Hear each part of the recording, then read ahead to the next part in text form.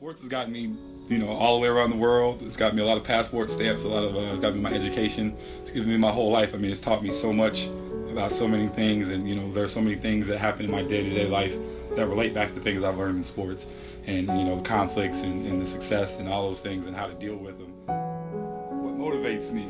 What motivates me is just being better every day. You know, it's a grind. It's it's being you know being better every day, getting the most out of yourself not wanting to you know waste the talent and the gift that, that that you know you've been given. You know at the end of the day they can't deny hard work. They can't deny you know the gifted and the talented. They can deny a lot of things but they can't deny those things. I mean van gogh and, and basquiat didn't get recognized until they were dead but they got recognized because talent talent wins out at the end of the day. So you know we're just going to grind push and be better I mean, at the end of the day, what's life about than other than being better and trying to get the most out of yourself and wanting, wanting to be great, not be average.